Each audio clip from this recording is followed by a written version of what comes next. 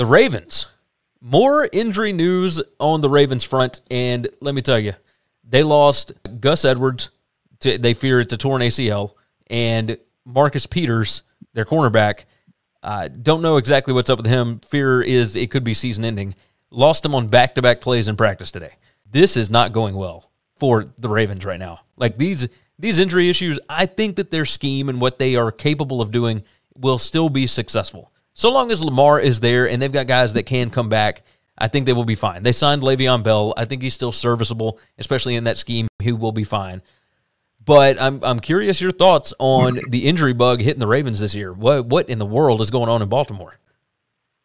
So I don't I don't know that they will be fine. At some point in time, I do think this game is a war of attrition, and most of these big injuries lately have all been season injury ending. So it's not like these guys are going to miss three weeks and then by week seven they're going to be back and they're going to be fine and they got ten games left to go and they'll be an awesome you know year. You know, because they, they don't have a running back that started on the roster this year that that's going to play it down this year. That I now I do think running back is one of those positions where you can call the guy off the couch and and you can make him something special.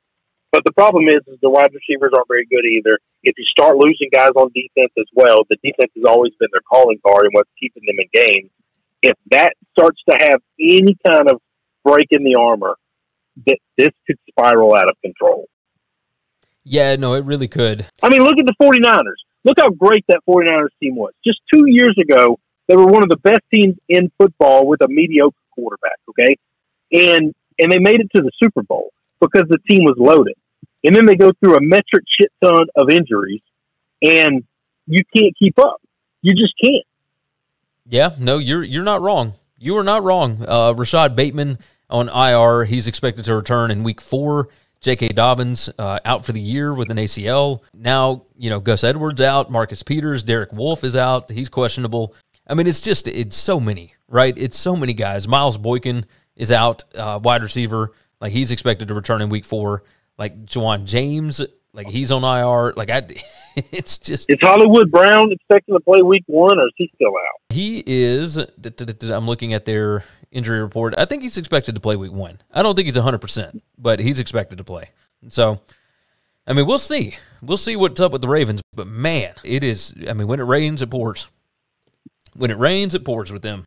Thanks for listening to the Winning Cures Everything podcast. The website is winningcureseverything.com. And if you want to connect with us, we're on Twitter at Gary WCE, at Chris B. Giannini, at Winning Cures, or you can email us, Gary at winningcureseverything.com or Chris at winningcureseverything.com. Subscribe everywhere you need to subscribe, and we'll see you soon.